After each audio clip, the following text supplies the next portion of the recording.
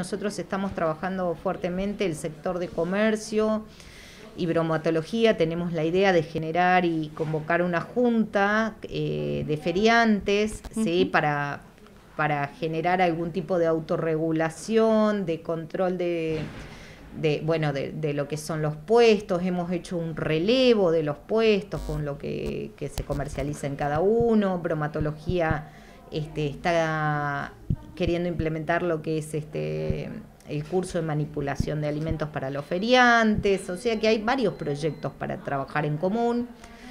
Y bueno, y este tenemos también que, que tal vez, eh, no sé si va a tener la misma permanencia que la del Trochita, sino que básicamente estamos viendo que también en otros lugares de, la, mm. de la ciudad también se están constituyendo eh, este, estas ferias sociales y bueno, la idea es siempre, tenemos una ordenanza y dentro de este marco poder colaborar para, para dar un ordenamiento desde el municipio. Y colaborar, por supuesto, en todo lo que sea con este, manipulación de alimentos, bueno, y control, ¿no? Eh, también.